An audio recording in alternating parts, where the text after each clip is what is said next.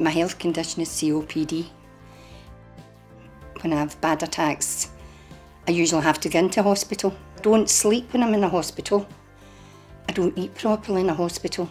It gets you stressed to go into a hospital, so you put it off and put it off. The day I saw Mrs Deacon, she was really quite unwell, and we wouldn't have had a choice but to admit her to hospital.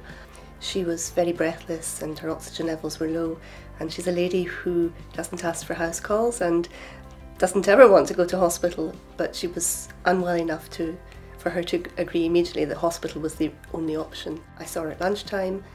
I was asked if hospital at home would be an option. I wasn't entirely sure because I hadn't used it before. I said, well, maybe, but um, she is really quite unwell. And I was reassured the team would be out to see her within an hour. When the senior nurse came the first day, she gave me a full check over, just as they do at hospital. It was done in a shorter time, um, and she, she reassured me that the condition I'd told her was what was happening with me, and she could treat it at home.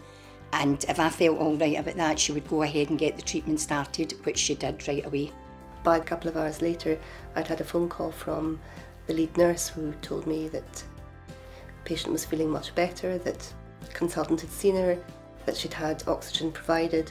And when I phoned Mrs. Deacon at the end of the afternoon surgery, she was she sounded much much better and was delighted still to be at home. On the second day, another consultant came, and then for five days running, a nurse came every single day until I was off oxygen and breathing properly. I'm usually in about 10 days in a hospital, and then I have to recuperate at home. I was back on my feet in five days here, and I was fine after that. I live very independently at the moment, but I know as this illness progresses, there is a time I might need a care package to come into effect for me.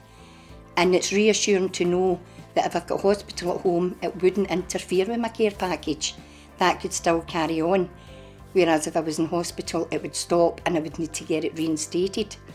So that is a big plus for hospital at home as well. I think the service office are a very comprehensive team with fast assessment by very experienced nurses with the input of a consultant and resources that aren't immediately accessible to us as GPs, which might not be terribly high tech, but which will be enough to ensure the patient can be looked after safely at home. Lots of elderly patients in similar circumstances would be relieved not to have to go to hospital. I would have no hesitation in recommending this service to both doctors and patients and I'll certainly use it again in similar circumstances.